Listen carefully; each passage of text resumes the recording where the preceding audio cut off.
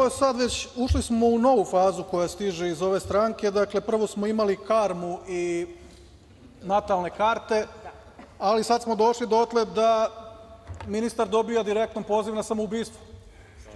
Znači, da ona kaže da bi ministar trebalo se ubije, da je u nekoj drugoj zemlji ministar bi se ubio.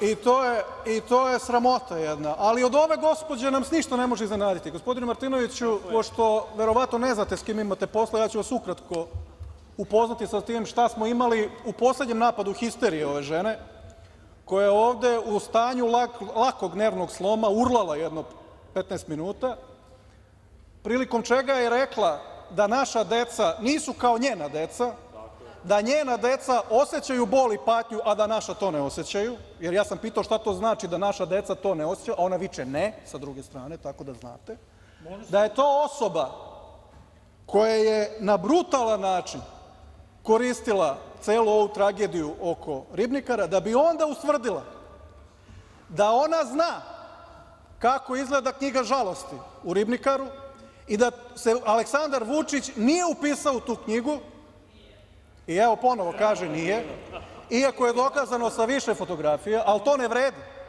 To ne vredi, racio tu ne pomaže, to je stvar vere. I kao što ne možete nekome veru da osporavate, ona veruje žena ne u ono što vidi, nego u ono što ona oseća valjda. I sada kada vidite sa kakvom se osobom ovde mi ovde raspravljamo i o čemu, sa kim vodimo raspravu, onda vam je jasno kakve frustracije rađa sukob u Narodnoj stranci o kojoj ste govorili. Vidite, teško se oni nose sa tom unutarstranačkom borbom. Sad se treba opredeliti, pa ako promaši šta će biti, hoće dobiti novi mandat, da li će Aleksić dati mandat ili će Vuk dati mandat ili neće dati ni jedan mandat. I to rađa frustracije da ljudi ovakve bljuvotine, bez ikakve ograde, bez ikakve granice iznose kao dobar dan i još se smeškaju na sve to.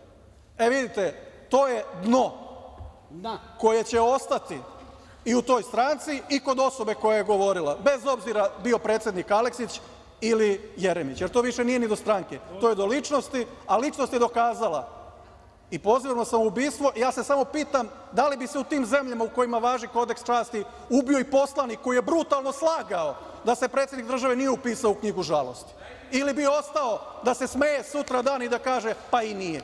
Ajde da o tome raspravljamo. Hvala.